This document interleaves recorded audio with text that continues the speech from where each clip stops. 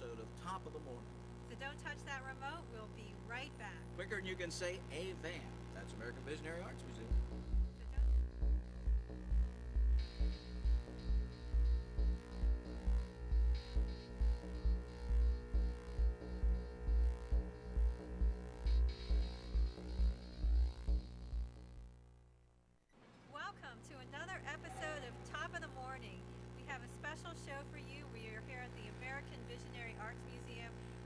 Special exhibit going on.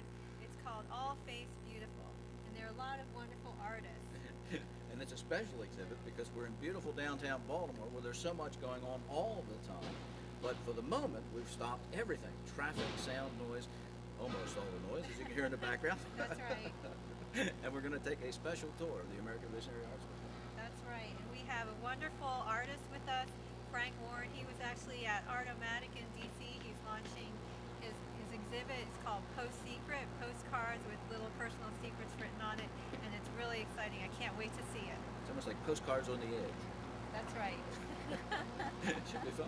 Just so you all know, we're not currently inside the museum. We're outside in a little secret garden where they have many receptions nearby in the building behind us.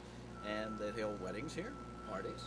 That's right. They hold private receptions here. Make sure you check it out. And let's have a word from the founder and curator of the American Visionary Arts Museum, Ms. Rebecca Hoffberger. That's right. Right now.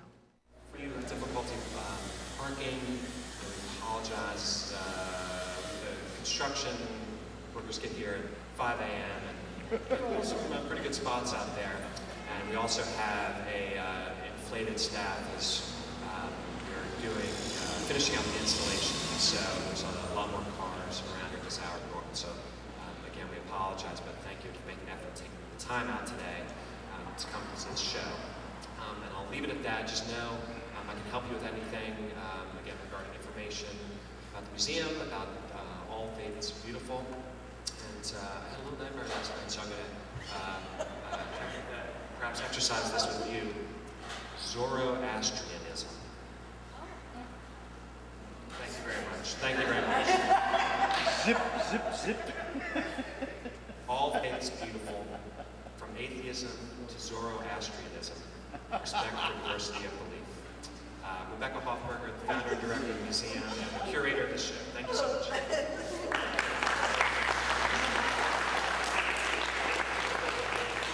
Does, does that mean there's an O missing from it? No, it's all good. It's all good, okay, thank you. Uh, actually, in the role, the creation of religion, one of the, the big aspects is the impermanence of life. And from our artist, the Dervish Sufi who is here, Sumat Aslan, you'll see his series of paintings today, which deal with the fact that he lost his mother at the age of four and what that did to awaken him. You'll see that repeated in many ways. Geraldine Lloyd here with another loss uh, when she lost her voice to cancer after being someone known for her voice. So often we say about visionary artists, when the life experience is too big for words, it comes off with this powerful art that speaks so many words.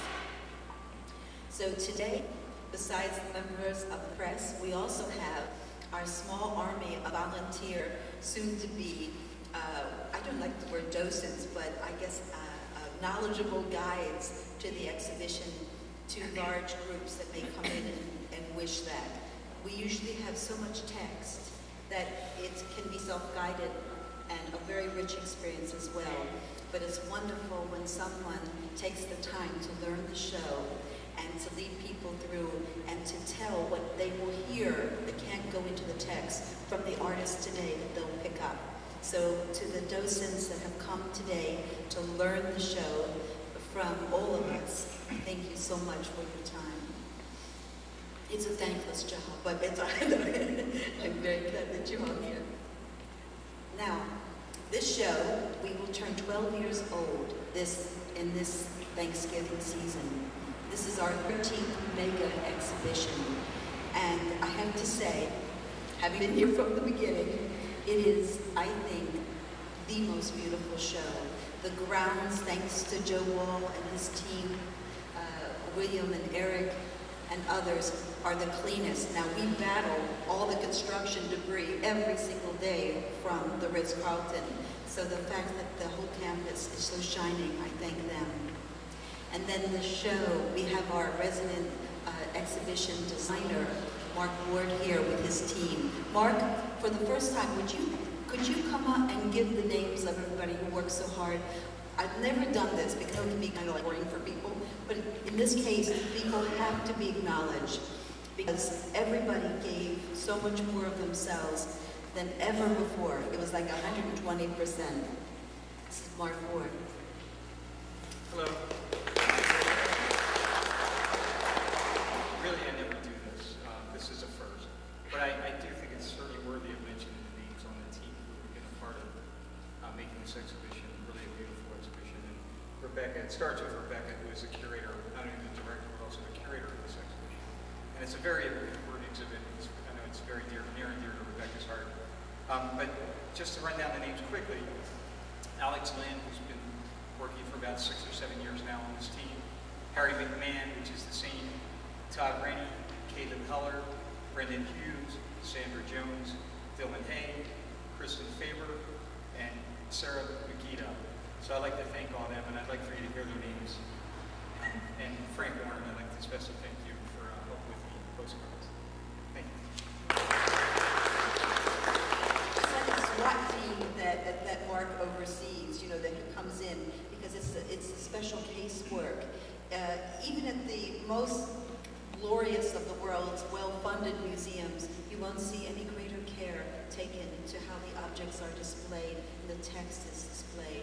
And the text has been done better by the best of all text makers, by Teresa Segretti. So you'll notice that, which enhances, she came up and made her own font, which includes many of the symbols of many of the world's major religions within the font. So look at that very carefully. Teresa's in the back there hanging out. She's also the mother Teresa of our kinetic sculpture. Uh, you know her for that hat too. Really, it's all my staff. Uh, Pete, you outdid yourself with that folder, with that huge poster. That's really fantastic. How much did that cost us? to get it? It's good. Oh, okay. And the gave, the right hand here makes everything better too. All right, well, you know, when you gave names, you always uh, leave out people, so I'm, I'm frightened of that. So uh, to everybody on the staff, this one, it has a special energy, this extra.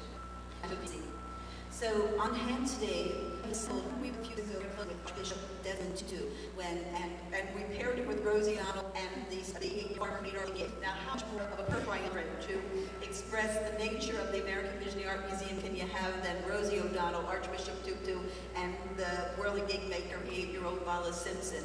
It was uh, quite a 10-year um, celebration, but his heart was very moved. So we've asked him to serve as the, uh, as the head of our, um, of our advisory spiritual council, which includes atheists from the social, uh, ethical uh, societies, uh, uh, as well as rabbis and imams and uh, different denominations of Christianity.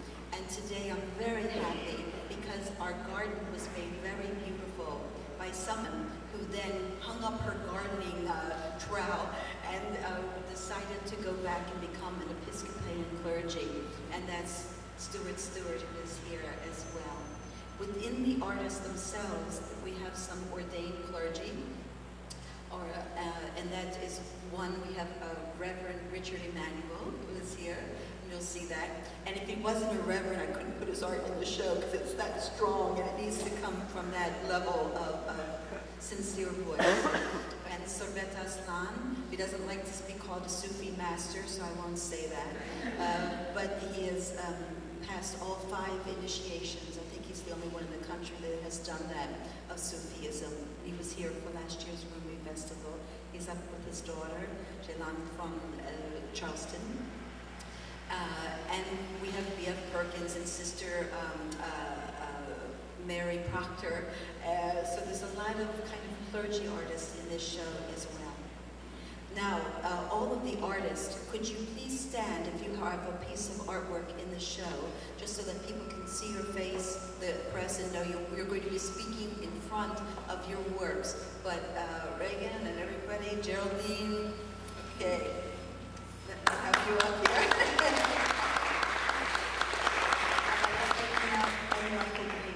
All right, you'll get to hear lots more from them when we actually go through the exhibition.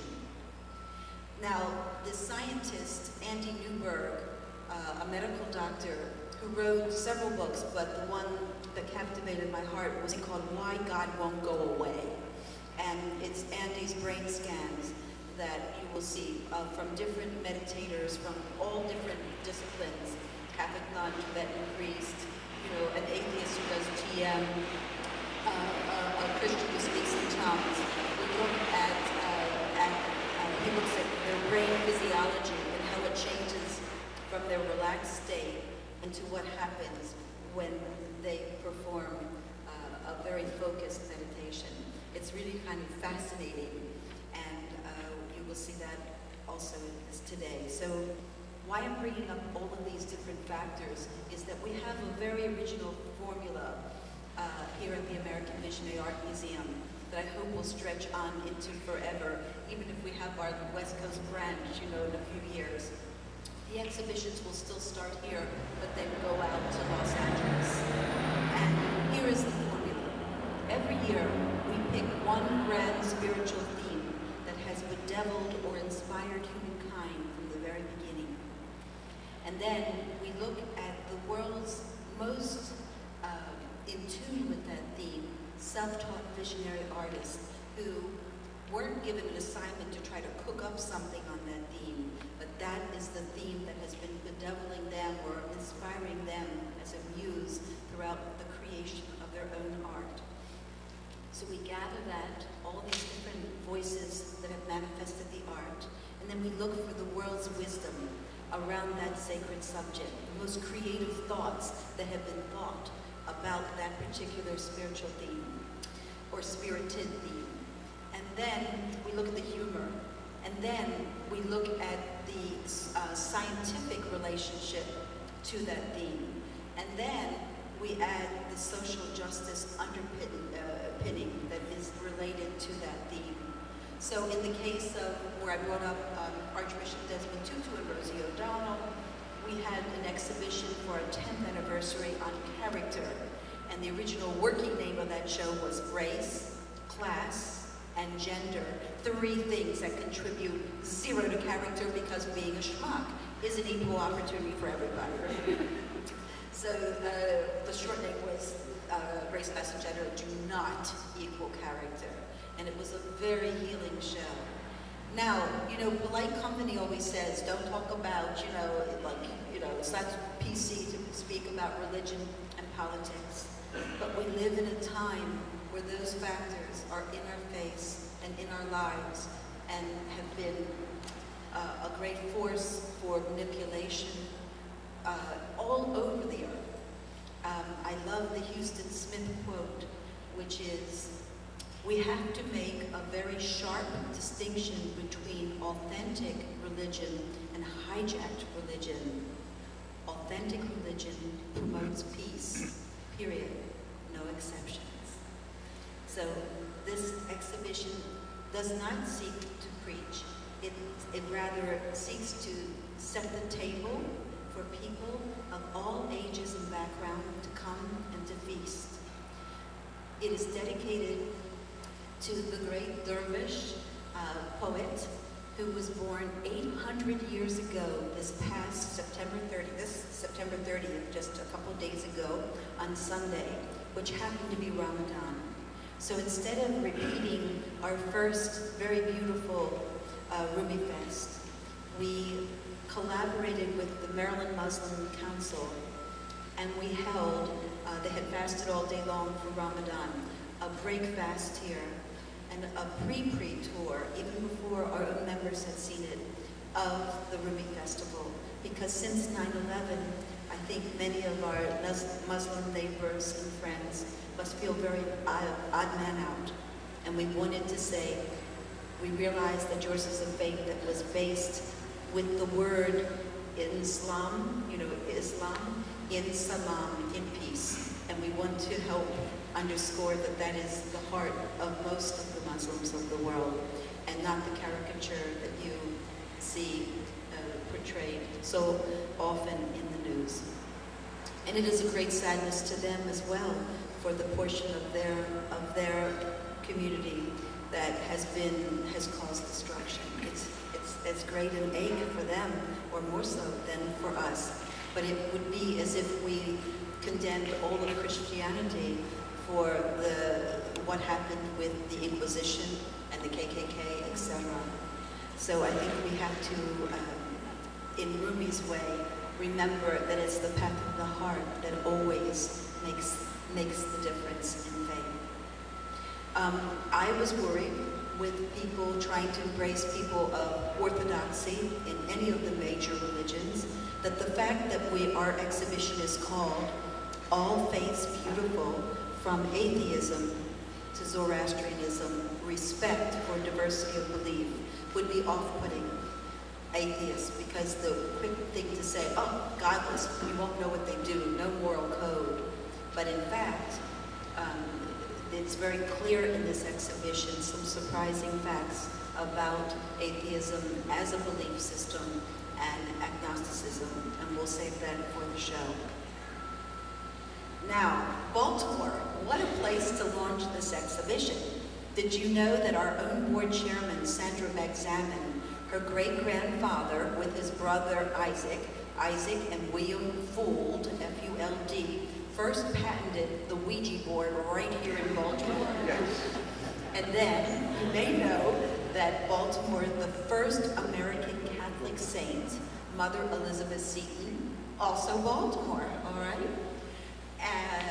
Then the other quirky thing is when uh, the most infamous atheist in America, on the grounds of, of separation of church and state, First Amendment, Madalyn Murray O'Hair. where was she living when she took prayer out of school? Baltimore. so there's a lot of, of these forces that are here it's, it's kind of wonderful to recognize that we are in the state of Maryland. Last, uh, uh, I guess it was February, I received the Loyola College award called the Andrew White Award, the Jesuit Award. And they said, you know, it's, it's Maryland week, and we just want to underscore that Maryland was the first colony to pass legislation, you know, that to, uh, uh, uh for religious tolerance. Very famous piece of legislation. And I said, yeah, but did you know that it applied only to Christians? You know, so we, see, we hear tolerance, we hear it with modern ears, and, and they repealed it because they thought it was too liberal in a few years. So even that was, that was too wide for them. But it's very beautiful that we're in Maryland. Maryland was, um, I think, the only Catholic colony. But you're also going to hear from the founder of Rhode Island, who back in the 17th century, uh, uh, Roger Williams, founded Rhode Island to be totally, sincerely, religiously free. And he said the best thing that I think is so modern for today, this is his exact words, okay? No modernity, you know, added. Forced worship stinks in God's nostrils. You know, so there's a lot of lovely surprises on the history part of the show. So, oh, oh, in, in tribute to the fact that America's First Amendment covers both freedom of speech, freedom of press, you gotta love that, uh, as well as, as freedom to express your religion in any, or your faith, your belief system in any matter of conscience that is true to your own determination. Um, we are celebrating 88-year-old, she'll be by then, Helen Thomas, at our March 15th, Beware the Ides of March, our March 15th gala uh, fundraiser. We only hold one a year, and uh, we're very excited to have her. And this is not for print, but I'm trying to get Stephen Colbert, who loves her, to introduce her because he does love her so much. And he uh, is a very fine, you you know, he was raised Catholic and he teaches Sunday school. And I thought he would do a great job defining faith. I'm going to send him our own Reverend Howard Finster, America's most prolific outsider artist quote, faith and worry can't live in the same heart. One has to go. So we, we hope to get him, and we're also extending an invitation to someone else who loves Helen Thomas, and that is Bill Maher. Now, Bill Maher uh, has been working on, and will be ready by then, a new film called, and remember he's a very famous atheist, called Religion is Stupid. I don't believe that, but I think it's important to make room for the discussion in a non-threatened way amongst all parties. So that is uh, an exciting thing, but Helen is confirmed, Helen Thomas. Um, other events include on April 24th, Folk Art Rajasthan will be here, and we are combining it with a, um, a world conference that is done by Baltimore's Imam Bashar Arafat with Muslim youth from around the world, Christian youth, and the local Jewish youth from, from the day schools. He's taken them all to Disney World year after year for their meeting, but he was so moved with what we're doing here that the conference will be kicked off from here on April 24th. With the Folk Art Rajasthan, one of our most amazing Muslim artists, uh, Khan, who is a drummer, will be coming to perform. Now, Sewar, his family has been, even though he's Muslim, the resident uh, drummers in a Hindu goddess temple that has made him untouchable from the Hindu point of view, and it makes him low man on the totem pole, heretical from the, his fellow Muslims. And what's interesting is the tourists love this sweet person. And so they would send him Hanukkah cards, they would send him Virgin Guadalupe images. Whatever was, was beautiful to their faith tradition, they would send to Sawar Khan. And he gathered it and gathered it, and unlike the mud walls of his house, he painted pinks and oranges, and he would put all the symbols, uh, Krishna, Hanuman, uh, uh, um, the Sikh uh, Guru Nanak, on his walls of his cave, his home. And he said, you know, my religion is human being. And he prepared some of the images that he has on his walls. He made as art for us, which you will see today. I think he is very in Rumi's spirit. And once you learn more about Rumi, now, you know, when we're dedicating this show to Rumi, has a very personal relationship with the museum. Ever since we opened in November of, two, uh, Thanksgiving uh, 1995, of all the world's wisdom and humor and insight, we have returned to Rumi over and over again. So how could we not celebrate his birthday? Can you imagine 800 years after you're born becoming the most read uh, poet, more than Shakespeare now, in both, he's taken over in both America and in Europe, most poet. So that's quite a blessing. Now, an important thing before we begin our tour, uh, and you get to hear from all of the artists, is to introduce a real treasure to us. Um, Frank Warren lives here in Maryland. Uh, to his chagrin, he put his home address, or his wife's chagrin, not his chagrin, is on the cover of his first book, Post Secret, right, in Germantown, correct?